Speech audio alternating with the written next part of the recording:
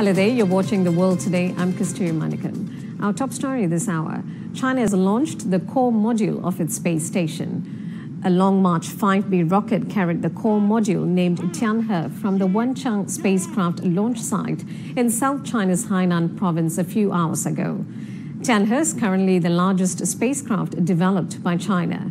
It will be the management and control center of the nation's space station and the main living space of the crew. It will also support scientific and technological experiments. Chinese President Xi Jinping has congratulated the launch of the Tianhe core module launch mission. He says its success signifies a key stage in the construction of China's self developed space station. He says the launch lays a solid foundation for follow up tasks. President Xi also says he hopes it will carry forward the spirit of the two bombs, one satellite project, referring to when China developed nuclear bombs, a ballistic missile, and an artificial satellite during the 1960s and 1970s. He also hopes the launch will give a push to manned spaceflight and the spirit of self dependency and innovation. We will bring you more stories on the launch of Tianhe core module later in the show, so stay tuned for that. Going back to our top story, China's Space Authority held a press conference uh, this morning on the launch of Tianhe core module. For more, let's uh, bring in our reporter Ning Hong in Wenchang. Ning Hong, what did officials have to say?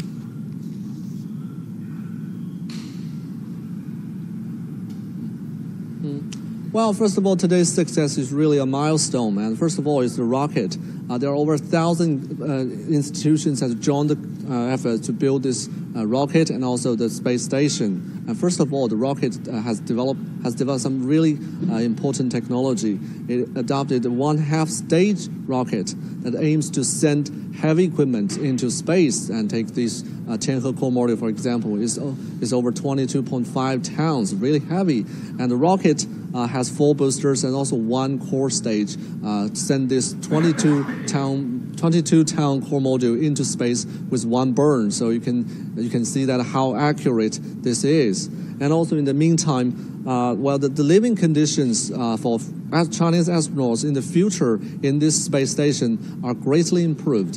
And uh, from what we learned, that uh, astronauts will have facilities to to uh, heat food and also uh, water facilities as well as uh, fitting fitting equipments and uh, also the oxygen are recovered and the uh, carbon dioxide are handled. So uh, they will have mu- much bigger place for them to stay.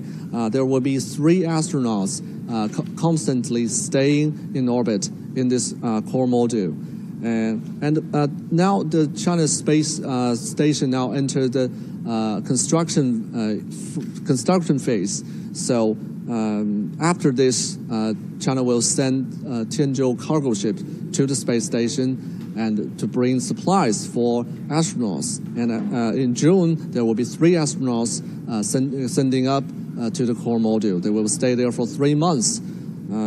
well, before every launch, there will be a cargo ship and then astronauts crew. They will stay for three months or uh, six months in the future. And during that time, their job uh, includes uh, transporting cargo supplies from the cargo ship or handling the robotic arms, keeping uh, keeping the uh, space station in good condition and including spacewalks. So after that, the space station will enter the third phase, that's application and also development. Uh, it will be as long as 10 years, and with proper repairment or replacements, the, the space station will be uh, the, the, lifespan of space station will be further expanded to uh, over 10 years' time. And now, uh, both the Tianzhou cargo ship and uh, Shenzhou manned spaceship are all in launch sites. Uh, they're uh, they're they're testing these ships and they're ready to launch. And in the meantime, crews, four crews of new space astronauts are now uh, training as well. So this is what we learned from this press conference. A historic day for China indeed. Thank you, Ning Hong, for that extensive report. Currently, there's only one international space station. China has no access, having been barred involvement by the United States over what it calls issues of national security. Wu Lei explains why China is building its own space station.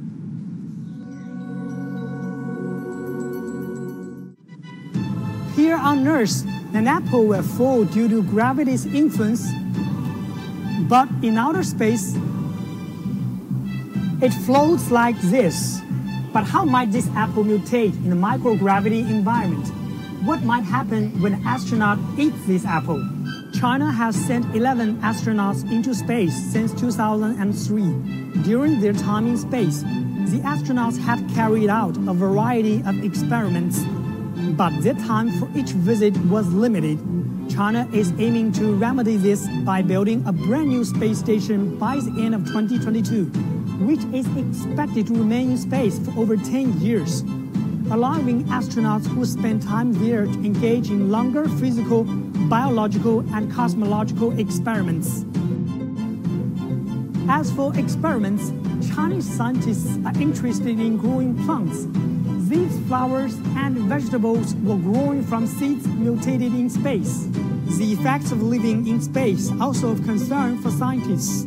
Knowing how to guarantee the ability for astronauts to have a healthy long-term stay in space could pave the way for future space travel. China's new space station won't just be for Chinese scientists, but also for global scientists as well. So far, a total of nine projects proposed by 17 countries, including Germany, France, and Italy, have been selected for the first round of experiments to be conducted in this new space lab. This new facility is expected to open up a brand new chapter in human space exploration. Wu Lei, CGTN. In an exclusive interview with CGTN, Hao Chun, the director of China Manned Space Engineering Office, says foreign astronauts and global cooperation on scientific experiments are welcome in China's space station once it begins operations in 2022. 呃，工程实施以来呢， since the implementation of the project, we have carried out extensive exchanges with a large number of national and regional space agencies, such as Deutsche Aerospace, the Italian Space Agency, Aerospatiale, and Pakistan's Space Agency. We and the United Nations Office for Outer Space Affairs carried out cooperation on applications concerning the use of China's space station. We signed an agreement.